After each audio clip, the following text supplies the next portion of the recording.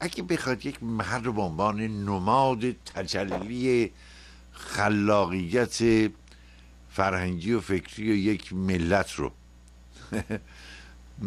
مثال بزنید. به نظرم یک کتاب فروشی های روبروی دانشگاه تهران کافه نادری کافه ریویرا هتل مرمر تالار رودکی و چندین چندین موزه هنرهای معاصر که به نظرم خیلی مهم بود. اینا تمام پاتوخهای روشنفکری ما بوده و این ویترین کتاب فروش ها رو در برابر دانشگاه که نگاه می‌کردید خودش به نظر من نشانه یک تحول عظیم بود و یک جنب جوش فوقلاده در دنیای روشنفکران ما در اون زمان که از یه حداقل آزادی برخوردار بودن. این رو واقعا همه امروز اعتراف می‌کنن. یعنی حق حیات داشتن در ضمن کارهاشون اغلب منتشر می‌شد. مشکل زیادی نبود. و هم به شهرتی رسیدن. شهرت هایی که امروز تحمل نمیشه. امروز یه نمشه در سینما محبوب مردم بشه دیگه جلو ادامه کارش برای یه مدتی می‌گیرن. تو یواش یواش از یاد بره. و دیگران بیان جای او رو بگیرن. در بقیه ارسام به همین ترتیبه. اونجا فقط یک نفر محبوب باید باشه. یا نام یک نفر باید زیاد مطرح باشه. بقیه رو باید هست با این پادشاه خوان کارلوس اولی که به سلطنت می‌رسه متوجه میشه که روزنامه مهم اسپانیا الپایس عکسش رو صفحه اول دائما داره چاپ می‌کنه. زنگ می‌زنه به دفتر روزنامه اون و میگه که می‌خوام با سردبیر صحبت بکنم. اتفاق جالبی که میفته میگه شما کسی میگن پادشاه هستم؟ اونم مثل که میگه من ناپل اونم قطع می‌کنه.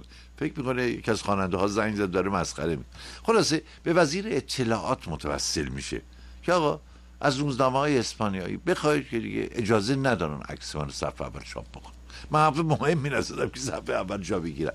در ایران برعکسه. اگه شما عکس رهبر رو روی پیشانی نشریه جا ندید ممکنه براتون مشکل ایجاد بشه. یا نشریه توقیف بکنه. و هر روی یه حداقل آزادی وجود داشت همین هم ما دست کم می‌تونیم این دوره از تاریخ رو شهادت بدیم چون اون دوره رو زندگی کردیم. من البته اندکی در حاشیه ولی شخصیتی مثل دکتر اسمان نوری در متن ماجرا بوده. با شمار زیادی از این نویسندگان و شعرا در اون زمان دوستی داشته ارتباط داشته دکتر نوری درود بر شما. سلام عرض می‌کنم خدمت شما همکارتون و بینندگان و شنوندگان گرامی این برنامه. شما مثل من عاشق ویترین های کتاب فروشی های جلو دانشگاه بودید یا نه؟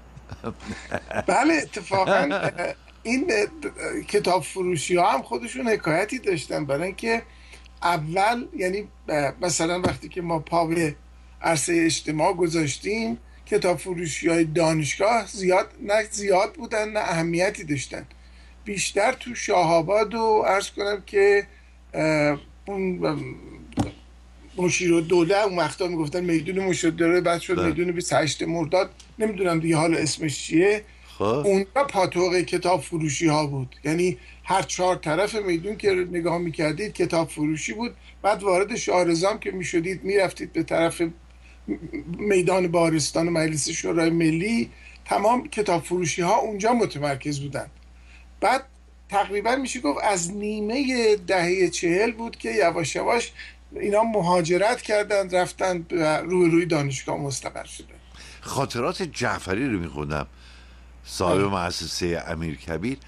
واقعا متوجه شدم که چه اتشی وجود داشته در اون نسل برای کتابخانی افزایش تیراژ کتاب ها قابل توجه بوده خیلی خوب بوده و نشون می‌داده که نسلی تلاش می‌کرده خودشو بالا بکشه اطلاعاتش رو بیشتر بکنه و خلاقیت داشته باشه با خلاقیت خودش به جامعه و و به پیشرفت جامعه کمک بکنه. خیلی مهم بوده. و بعد سعی می‌کرده که با دنیای بیرون آشنا بشه ادبیات جهان بیرون رو بشناسه و اینا اتفاقات خیلی مهمی بود که متاسفانه این دیوار انقلاب جلو این سیلاب رو گرفت. آقای مبادی من فکر می‌کنم که شاید از این زاویه به مسئله میشه نگاه کرد که معمولا در کشورهای مثل کشور ما که سابقه مسجد و خانقاه خیلی زیاده و بعد احزابی هم که وجود میان یه نوعی از لحاظ ساختاری و روابط درونی مثل خانقاه و مسجد عمل می‌کنن. یعنی حالا یک پیر خانقاه یا عرض کنم که مرجع تقلیدی اون بالا نشسته و بقیه هم عرض کنم که دنبالشون می‌گیرن.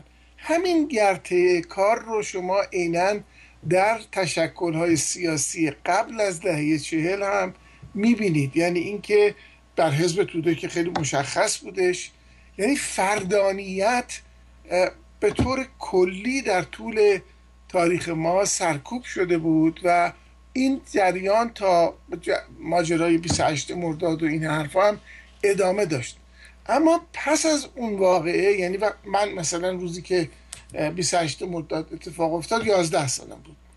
و پس از اون که رفته رفته اصلا اه اصل تحذب به اون صورت کلاسیک خودش در ایران کنار گذاشته شد نسل ما یه نسلی بودش که نخستین بار مزه های ایندیویدوالیزم یا فردگرایی یا فردمداری رو میچشید و در نتیجه میدانی برای ما باز شده بود برای اینکه ما بدون اینکه مرجع تقلید داشته باشیم خودمون با کنجکاوی های خودمون به دنیا نگاه بکنیم و کنجکاوی های خودمون رو سعی بکنیم از طریق خوندن از طریق شنیدن و گفتگو و مناظره و غیره سیراب بکنیم. من فکر می‌کنم علت این که کلید دهه چهل با نسل جدید به این صورت زده شد به خاطر این بود که برای نخستین بار مسئله فرد و فرد مداری در فرهنگ ما مطرح شده بودش. و شخص مستحیل در یک امر بزرگتر یا یک سازمان بزرگتر نمی‌شد. هر کسی تو حوزه خودش بود و میتونستش هم چی میگن خودخواهی های خودش رو ارضا بکنه هم کنجکاوی های خودش رو. یعنی که من این رو همون موقع کاملا احساس می‌کردم که مثلا نوع برخورد ما با بزرگترهای ما یا کسانی که از نسل گذشته بودند خیلی متفاوت بود با نوع برخورد خود اونها با نسل قبلیشون. یعنی یک نوع اطاعت و ارز کنم که پذیرش و مجادله نکردن و در نیفتادن با اونها وجود داشتش در گذشته. یعنی حرمت پیشکسوت. حکومت رعایت می‌شد. کاملا. در, در حالی که در نسل ما چنین چیزی نبود. نبود. حالا چرا این اتفاق اینجوری شده بودش باید دقیقا مطالعهش کرد. ولی من کاملا تفاوت نسلی رو در این ماجرا می‌دیدم که ما مثل این یه نسلی بودیم که برای اولین بار توی تاریخ خودمون مرجع تقلید نداشتیم. پیر خانقاه نداشتیم. دبیر کل حزب نداشتیم. و باید به صورت ماهی های تنهایی تو این اقیانوس شنا می‌کردیم. و در نتیجه فرصت این رو پیدا می‌کردیم که ارز کنم که خارج از هر قاعده و قانونی عمل بکنیم و در این حال هر قاعده و قانونی رو هم مورد پرسش قرار بدیم. و این من فکر می‌کنم که مسئله بودش که اساسا دهه 1340 تا 50 رو به کل از دهه های دیگر تاریخ ما جدا می‌کنه. من همیشه آرزو داشتم که فرصت این رو می داشتم که اساسا می نشستم و یک کتابی می نوشتم راجع به دهه چهل یا نسل دهه چهل یا همچی چیزی. در این مورد خب کوشش های متعددی هم شده است ولی زوایای مختلف قضیه مثل مثلا زاویه سیاسی، زاویه اجتماعی، زاویه اقتصادی و به خصوص زاویه فرهنگی و ادبی و هنری این ماجرا به صورت به هم پیوسته و یک جریان اجتماعی چند وجهی کمتر تو کاری مطرح شده. و خب سعادت این رو نداشتم که این رو بشینم فرصتش رو پیدا نکردم که این کار رو بکنم. ولی تا به حال توی این سه چهار ساله ای که این برنامه های با شما رو در تلویزیون ایران فردا تعقیب می‌کنیم کم و بیش سعی کردم که یه چنین کاری رو انجام بدم. من فکر می‌کنم که اگر که آدم نتونه این ساحت های مختلف سیاسی اجتماعی اقتصادی فرهنگی رو با همدیگه در بیامیزه و نشون بده که اینها با همدیگه چگونه از کنم که کنش و واکنش متقابل دارن شاید درک نکنه براش عجیب باشه که چه اتفاقی افتاد که یک مرتبه مثلا از 1340 تا 1350 تمام شعر ما شکل عوض کرد نو شد. نویسی ما نو شد. سینمای ما سینمای دگرگونی شد. موسیقی ما فرق کرد. همیشه به صورت شگفتانگیزی به یا شگفتانگیز شده ای به ماجرای دهه چهل نگاه میشه. به نظر من به خاطر اینکه این عناصرش مورد مطالعه قرار نمی‌گیره. به هر دهه فوق بود. خب الان تقریبا 1340 ما الان 1395 هستیم دیگه. یعنی که 50 سالی به حال از اون دوران گذشته نیم قرن گذشته. و میشه نگاه کرد و دید که اگر که شرایط اجتماعی مناسبی به وجود بیاد چگونه میشه در همه زمینه ها از رشد و توسعه رو دید؟ چه اقتصادی چه اجتماعی چه سیاسی و چه فرهنگی؟ حالا شما درباره ادبیات همین حرفا رو با دکتر خوشنام که در میان می‌گذاریم که موسیقی شناس و دالار رودکی و از این قبیل خودش با بسیاری از رهبران رو کس کار کرده کارهایی داشته در زمینه اپرا. از اون هم بپرسید متوجه میشید که در قلم روی موسیقی هم چهرهای درخشانی از خارج به ایران میان. اینا رفتن تحصیل کرده بودن بیشتر در کنسرواتوار وین. در نزد چهرهای برجسته موسیقی مثلا ما دستیار یکی از یکی از برجسته ترین مثلا رهبران موسیقی قرن بیستم هربرت فون کالایانه. من اصلا فکر نمی کردم که او یه دستیار ایرانی داشته باشه دستیار ایرانی داشته. یا شخصیت های مثل نادر مشایخی علی رهبری نمی‌دونم آقای دهلوی اینا کسانی که میان اون و اونام تو اون زمینه فعال میشن. تا حالا روزکی رونق پیدا می‌کنه. موسیقیدان های جوان در ظاهر میشن متاسفانه میاد کاراشون شکلی بگیره دوباره. اون دیوار بلند در برابر دیوار چین در برابر اونها هم ایجاد میشه. یعنی در تمام زمین هم تو که آقای دکتر نوری میگه که به نظرم مهمه. تو چون حالا من می‌خوام از شما خواهش بکنم. ما رو ببرید تو پیاده رو و همون شعبات خیلی خوب. بله. ببینیم در یه روز کیا با شما بودن چه کردید اون روز؟ اینا به نظرم آدم یادش به مونپارناس پاریس میفته وقتی فضای اون, اون دوره شعبادی که اشاره کردید شما جلو دانشگاه یا مجموعه قهوه خونه ها و کافه ها خیلی شبیه بود با فضا و آمبیانسی که مثلا در مونپارناس در پاریس وجود داشت و سن ژرمن. خب سراپا گوشیم. پیاده رو شعباد ببینیم چه خبره. کیا هستن؟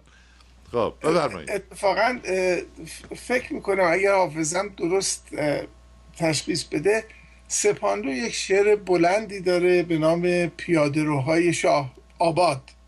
یعنی این فاصله اون میدون شاه آباد و میدون بهارستان این خیابون خیابون بسیار عجیب و خاطر انگیزی بودش مثلا اگر که از خود بهارستان شروع کنیم و میدان بهارستان که خب سراسر خاطره هستش از زمان مشروطیت تا زمان به خصوص دکتر مصدق و اینها. خب مثلا اول برمیخوردید به کتاب فروشی صفی علی شاه که سر ارز کنم که یعنی ورودیه خیابون صفی علی شاه بود به بهارستان. و خب صفی علی شاه هم که می‌دونیم که پیر خانقایی بود و مزارش هم در کمرکش خیابون ارز کنم که همون صفی علی شاه وجود داشت که معمولا ختم های مربوط به شخصیت های خاندان های مثلا روشنفکری بیشتر در اونجا انجام می‌شد تا در مساجد.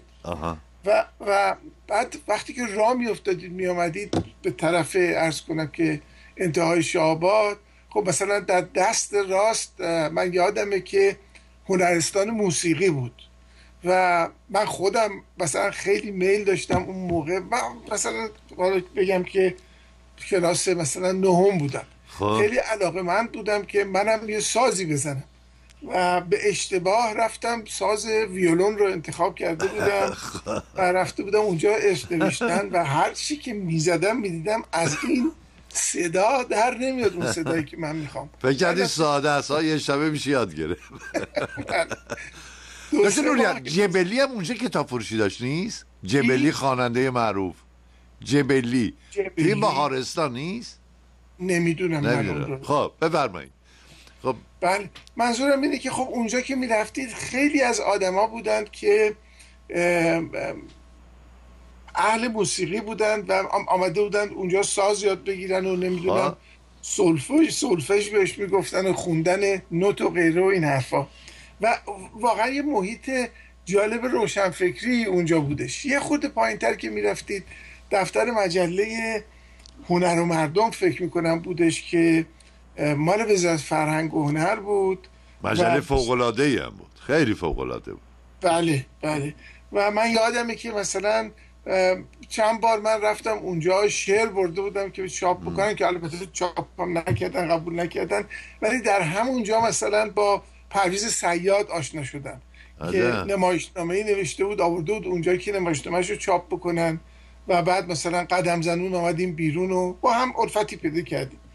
و بعد جلوتر که می‌رفتید به کتاب فروشی اندیشه می‌رسیدید که ارز کنم که مال آقای احمدی بود. احمدی پدر عبدالرحیم احمدی و عموی احمد احمدی بود و یعنی مورخ نامدار تاریخ نگار ها؟ عبدالرحیم احمدی بیشتر مترجم ارز کنم که گالیلو گالیله. برشت اینها بودش. چند کار تاریخی هم دارن؟ بله. بله میفرمایید. بله بله. بله. و بعدم در وزارت در سازمان جلب سیاحان ایش- اینها معاون نخست وزیر شدن ایشون. آخرین کار ایشون رو توی بخارا خوندم همین چند مدتی پیش. به لطف آقای دیباشی بله بفرمایید. بله من الان در حدود شاید 27 ساله که دیگه از ایشون اطلاعی ندارم. ولی وقتی که لندن زندگی می‌کردم ایشون تشریف که می آوردن به لندن به منزل من هم می آمدن میشستیم صحبت می‌کردیم و اینها. اون موقع در کانادا زندگی می‌کردن. من الان اطلاعی ندارم. ارز کنم که بعد مثلا احمد زا احمدی وقتی دیپلمش رو تموم کرد تو همین مغازه پدرش مغازه اموش که کتاب فروشی اندیشه بود شاگرد شده بود و یکی از شعرهای مشهورش همین بود که من شاگرد تنبل کتاب فروشی ها و بقیه مسائل. و اونجا بیشتر پاتوق روشنفکران توده‌ای بودش که حالا از زندان آمده بودن بیرون اظهار ندامت کرده بودند و در طولی که در, در زمانی که در زندان بودن یک سری کار تهیه کرده بودند که حالا اندیشه داشت اینها رو منتشر می‌کرد. می‌کرد شاهرخ مسکوب بود خود رحیمی بود و دیگران ارز کنم که جلوتر که می‌رفتیم مهرزاد بهار هم در همون زمره بود؟ مهرزاد بهار؟ مهرداد بهار رو من اونجا ندیدم. مرداد بهار رو بعدا البته خیلی باهاش دوست شدم ولی اونجا ایشون رو من ندیدم در اون دوران.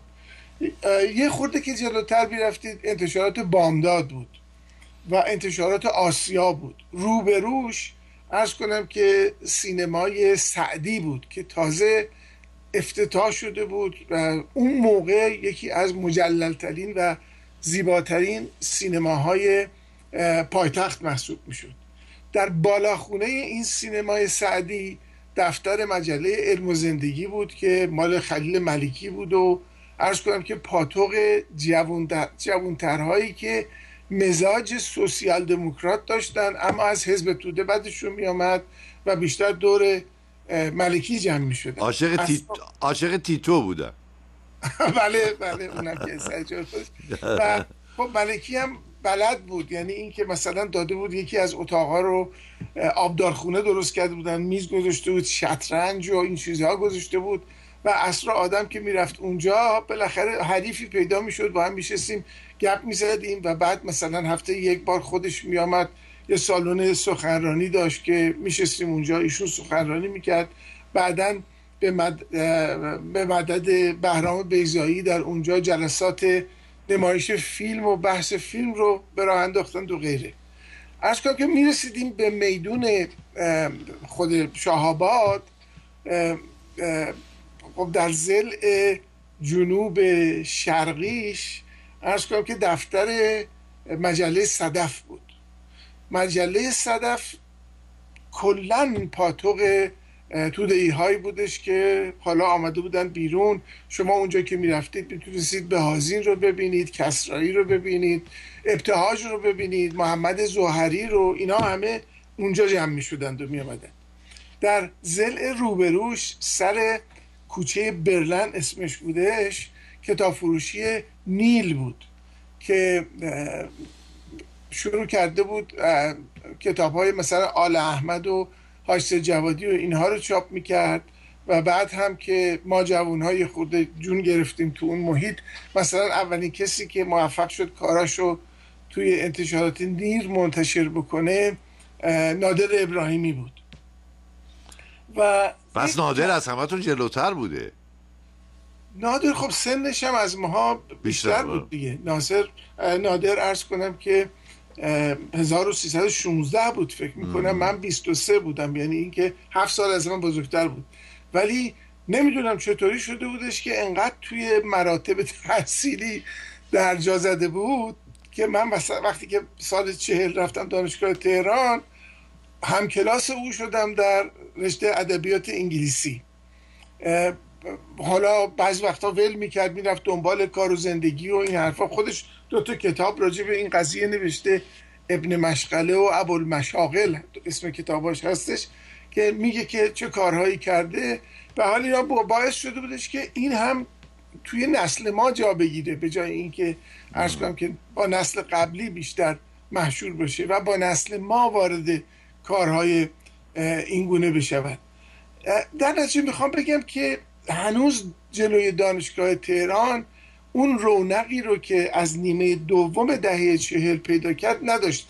اصل از کن که پاتوق های روشن فکری همین خیابون شاهباد بود که بعد وارد پس از میدان شاهباد دیگه خیابون نادری شروع می شد که در خود خیابون نادری هم اون وقت بیشتر کافه ها و پاتوق های کافه ای وجود داشتش دیگه. از ارز کنم که اون پاساژی که مصطفی پایان خواننده آذربایجانی اون بالای مشروب فروشی و رستورانی داشت که شبا اکثرا دوستان اونجا جمع می شدن جلوتر می رفتید نمی‌دونم این بیستروهایی بودش که شما می‌تونستید خوب بهتون خوش میگذشت ها از می‌کنم به نظر من شاید نه ایران و نسل و نه نسل های ایرانی آنچه را که ما در دهه چهل تجربه کردیم تجربه کرده باشند واقعا دهه جالب و سرشاری بودش. یعنی وقتی که من فقط این رو مقایسه می‌کنم با دهه سی و دهه پنجاه که در دهه سی ما در سال سی و دو کودتا رو داشتیم و بعد حالا اسمشو یاد بگن نگو کودتا بگو قیام ملی هرچی که نمی‌خوام وارد اصلا این بحث بشم ولی به هر حال یک فضای بسیار تنس سیاسی بوده دیگه پرتش... بله. تنشی بود دیگه درسته بله. این مسئله دستگیری ها ارز کنم که تیر بارون کردن ها وجود آمدن ارز کنم که حکومت نظامی و دوران بختیار و این حرفا خیلی دهه سی رو دهه سیاهی کرده بود یعنی که ما که جوانتر بودیم مثلا من از 1338 که پام وا شدش به این گونه مجالس می‌دیدم که از شاملو گرفته اخوان گرفته نصرت رحمانی همه همه چهره که مربوط به اون دوره می شدند بسیار آدم های دیپرس ناراحت و گرفتاری بودند. و بعدم اعتیادی که در اون موقع اونجا بیداد میکردش. همشون تقریبا معتاد بودن. و عرض کنم که اون وقت ما وارد دهه چهل که شدیم وقتی خارج که شدیم وارد دهه پنجاه شدیم یهو تمام مسئله فعالیت های چریک بازی و گرفتن چریک ها و محاکمه اشخاص و نمی‌دونم تیرباران شاعر و همه این حرفا تا رسیدش به سال 57 که انقلاب شد و اون مسائل وحشتناک پیش آمد این دهه چهل مثل اینکه ساندویچ شده بود بین دو تا دهه پر از تلاطم سیاسی و فجایع عجیب غریب. اینه که ما در اون مثلا در سال چهل من 19 سالم بود بگیریم در سال 50 هم 29 سالم. این بین 20 سالگی تا 30 سالگی من سالهای بسیار عجیب غریب و جالبی محسوب می شدش من فکر می‌کنم دو نوری البته بالا خاطرات شما رو گوش می‌کنم. من موقع نوجوان میدم در اروپا بودم. بله. و بعدا آمدم و, و دوران پایان من حضور که از همش فکر می‌کنم که ما در یه دور در یه شاهرایی که اسمش دهه چله یه چیز حدود ده سال تقریبا خودمون بودیم. دنیا انگولک به ما نمی کرد ما موفق شده بودیم که یه جامعه نسبتا آزاد قابل تحمل رو پدید بیاریم همه در کنار هم و با هم زندگی بکنیم. اصلا مثلا اصلا از تعصبات مذهبی در اون دوره خبری نیست. اون چی که هست خلاقیت هم که شما اشاره کردید در زمینه های متعدد مردم راضی و خورسندن در زندگی در ایران. شما زیادی از خانواده ها بچه هاشون رو به خارج فرستادن. حکومت هم داره کمک می‌کنه اینا برن درس بخونن برگردن. نمایندگان متعدد رای این کشور اون کشور میشن برای اینکه فارغ تحصیلان رو جذب ایران بکنن بیان در اینجا خدمت. شمار زیادی بر یه دوره خوب. اما بعد دوباره شروع میشه. یعنی فشارهای بینالمللی رو ایران شروع میشه. روسا خیلی فعالن غربی هم خیلی فعال. در دهه پنج. ما قبلش هم خب دخالت خارجی به هر حال تو ایران خیلی مؤثر بوده. دخالت خارجی و اون همونجور فضای پر از تنسی که بعدا پدید آمد در یه دوره ای البته خوشبختانه کوتاه بود ولی متاسفانه بعد دوباره این دوباره این دخالت ها به ویژه فشارهای خارجی از هر سو حالا اسمش توته است نمی‌دونم تحریک ولی نشون می‌داد که اونها بیکار نیستن. چون در همون زمان باز من در اروپا احساس می‌کردم. احساس می‌کردم که اینها منافعی در ایران دارن که این منافع به شکل فعلی نمی‌تونه تأمین بشه. در تغییراتی در ایران لازمه. شاید گوادلوب در جمع نتیجه یا جمعبندی همین طرز فکر بود در بین رهبران کشورهای غربی. خود شما تصور یه, بله. یه دقیقه بیشتر وقت نداری. ببر بفرم. بله به نظر من به هر حال ایران ساندویچ شده بود بین سیاست های مربوط به دوران جنگ سرد. بله درست. و فقط این دهه چهل بودش که یه جون سالمی به در برده بود از ماجرای جنگ سرد. این از یک طرف بود. یکی هم نوساناتی که در سیاست امریکا پیش می آمد خیلی مسئله ساز بودش در ایران. یعنی شما نگاه بکنید که مثلا هشت سال آیزنهاور رو بعد آمدن کندی رو بعد نیکسون رو بعد برسیم تا به کارتر و می‌بینیم که هر کدوم از این دست به دست شدن ارز کنم که کاخ سفید بین احزاب امریکایی کاملا تاثیر خودش رو روی مسائل ایران میگذاشت تشکر می‌کنم دکتر نوریال. خیلی سپاسگزارم. امیدواریم بتونیم که خیابان دهه چهل رو دوباره در ایران ایجاد به شاهرای به نام دهه چهل. این گفتگو رو دنبال می‌کنیم. فوق العاده گفتگوی جالبی است با آقای دکتر اسماعیل نوریالا به شما روز بخیر میگم در دنور کلرادو خیلی متشکرم. روز شما هم خوش. ممنون.